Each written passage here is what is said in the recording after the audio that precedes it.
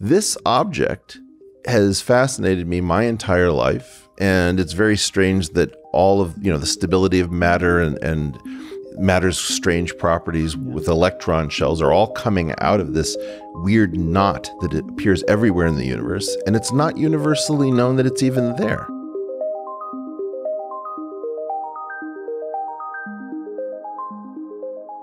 Do you think Dirac actually understand understood these objects, these most mysterious of Two objects? component spinors.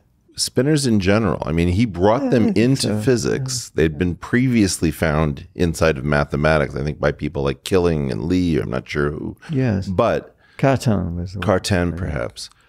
I don't think, I mean, let me throw out a really dangerous idea. I don't think any of us understand them at all. And the part of the problem was is that he understood very well what could be said about them. Yeah. But that if you know, I asked you before about like your favorite film. You said 2001. You could Yeah. make an argument that spinors are in mathematics and physics like the monolith. It's always encountered. Nobody ever understands exactly what it means, but it always grabs your attention because it seems so absolutely bizarre and highly conserved. Well, I always like to think of things geometrically, and uh, at least for the two component ones, you see, when you go up to higher dimensions, you still have spinors. But the spinors, the dimension of the spinors goes up exponentially. So each time you add the two to the dimension of the space and the dimension of the spinors, it's multiplied by two. So they So get dimension 2D, for example, Yeah. you'd get spinors of dimension 2 to the d over 2. Yeah, that's the sort of thing. That's right. And so the the well, the usually one talks about the Dirac spinors, which are the four dimen the four The full spinners. Right, right, right. But they split into these two, two and two. In even dimensions. Yes, that's right, in even dimensions. And uh, I like to understand these things geometrically. So you could see what the two component spinor represented. I had this picture of a of a flag. So you have the flagpole goes along the light cone. So that's a That's the vector like piece of it. yeah, it's a vector, null And then you have an extra piece of data. an extra piece, which is this flag plane. Mm. And you, you get a pretty good geometrical understanding. The one little catch to it is that if you rotate it through 100, 300, uh, 360 degrees, so you might think just to where it started, it's not the same as it was before. It's, it's changed its sign. And then you rotate it again through Well, that won't make any sense to anyone. but if, I mean, one way of looking at that is if you have a Klein bottle, and Yes. for those of some people will be listening to this in audio, some watching it in video. Okay. A Klein bottle, in a certain sense that can be made precise, has a square root that would be a torus, that is a double that's right. cover. Yes, yes. So it seems like a very weird thing to take a square root of a strange topological Mobius like object. Mm. But there you are. Yeah. So it's really the square root of the rotations that Yeah. has this double effect. But we say it linguistically in a way that makes it almost impossible for anyone to understand. Well, I think this was the mystery. I, I mean, I understood that a spinor was the square root of a vector, you see, and I couldn't make head or tail of that idea. And it was when I went to Dirac's course, it did become clear.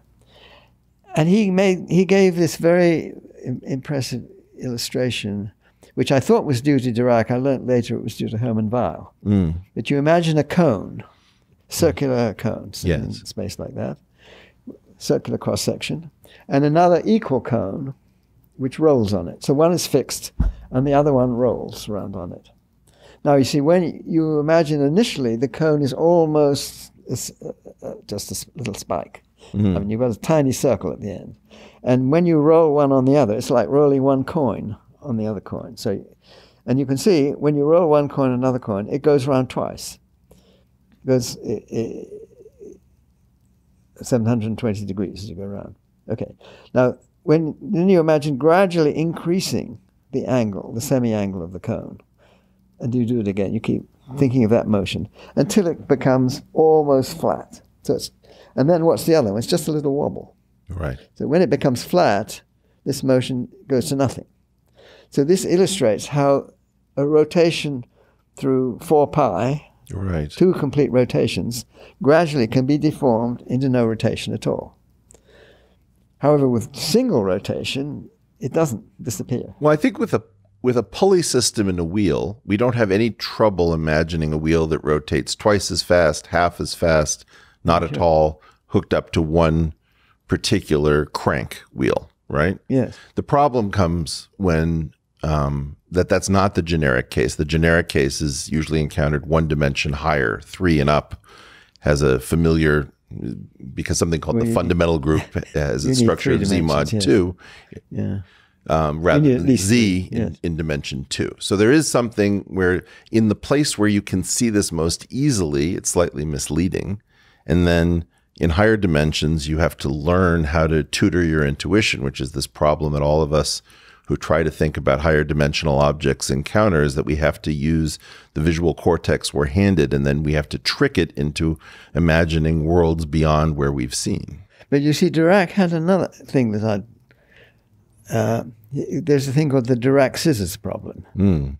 So you imagine a chair with which has the um, pieces of wood going up like this, Yeah. and you have a, a pair of scissors. I think this is Dirac's joke that it was a pair of scissors, and through the the, uh, the where you put your fingers, you have a piece of string which goes through this and then goes around the chair and then comes back through the other one and goes back again. Right.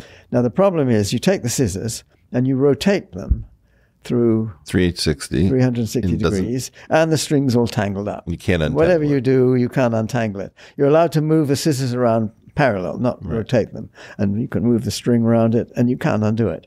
But you do th- twice, 300, and s- four- 720 degrees, two complete rotations. And then you find you can un- untangle it. So this was the Dirac scissors problem, and I think the the, tr- the joke was it's a pair of scissors. So if you get too frustrated, You- you, you just, just cut, cut the, the Gordian string. Yes. yeah. And he wrote a paper explaining that I think Max Newman Yeah. Wrote a paper. Dirac did this as an illustration how you can undo it when it's when it's Right. four pi or 720 degrees, but to prove that you couldn't do it with this is I think you, Okay. Well, Max Newman had a have you seen this video called "Air on the Dirac String," which illustrates this in video Oh, I haven't seen the. I would highly recommend it be because it, it, it shows this off as the similarity to the belt trick, to the Yes. Philippine wine glass Yes, the dance, is- all yeah, of the these different versions. Yeah, I found I could do that one actually. yes. I had Joe Rogan try it. and he-? I think he got almost all the way around. Yeah, no, I, I've, I've done it with a glass with Yeah. water. Yes, you go like that, and it comes back. Very stylish. Yes. Um, so you can do two two complete rotations. you complete can undo rotation. Yes. So this is a, this is a very fundamental property Hmm. of the world that is somehow not discussed. I think I find it very interesting that people want to talk to me about the multiverse. Sometimes they want to talk to me about quantum measurement problems. But the idea that we are somehow based on a square root, and I would disagree with you slightly if you would permit it, Go ahead. that it's not just a question of the square root of the of the vectors. It's the square root of the the algebra generated by the vectors that really the, the spinors are. This exterior or Clifford algebra. Oh yes. This object has fascinated me my entire life, and it's very strange that all of you know the stability of matter and and matter's strange properties with electron shells are all coming out of this weird knot that appears everywhere in the universe, and it's not universally known that it's even there. Yes. Well, it's the difference between the fermions and the bosons. So the particles which have a spin which is half an odd number, Right. which which have this curious property that you rotate them and they get back to minus themselves. And it's crucial for, for matter because the Pauli exclusion principle depends on the the Fermi statistics, which is to do with the this exact this property. So without this knottedness and the scissor trick or whatever you want to call it, we wouldn't have a periodic table and chemical elements. you wouldn't have anything. we wouldn't which- have anything. Yeah, you wouldn't have it. You wouldn't have fermions. In other words, you wouldn't have things which have an exclusion principle. So, and the bosons, which uh, are the op- opposite, they they like to be on. If you have two bosons, uh, uh, in you can have them in the same state. They rather like to be in the same state. so you get these things called Bose-Einstein condensates, where if you get them very cold, they all flop together into the same state. But for the fermions, it's completely the opposite. They hate to be in the same state, or they can't be. And this is what sort of pushes them apart. So you get the Fermi principle So you have this, this, this strange thing called the spin statistics theorem Yes. that says that if things have a knottedness of a particular kind, then they either are highly individualistic or highly communistic, whatever you want to call it. Yeah. My question would be there's another aspect of that that I've been very curious about, which is when we have to treat these objects quantum mechanically, and you've, of course, thought a great deal Oh, about yeah, quantum yeah, theory, be, we have two totally different prescriptions for how to make these different objects quantum mechanical, but there's a one to one correspondence between these two utterly different treatments that matter and force get quantum mechanically. It's the darndest thing. When you get these two kinds of particle or two kinds of atoms, the bosons and the fermions. And it has to do with the make a complete rotation. Do they come back to themselves or do they come back to minus themselves? That's the topological Yes. bit. Yeah. But then there's this whole thing the that might go under, Oh, you sure. know, like Berezin uh, integration, which is no integration at all. I mean, you're you're effectively almost lying about what Sure. you're doing to the fermions Yes. to make them look like bosons, Yeah. and yet what we what we seem to get out of this is that nobody. I, I don't think anyone could have anticipated that there would be a dictionary of two totally different structures, which are seems to be almost word for word.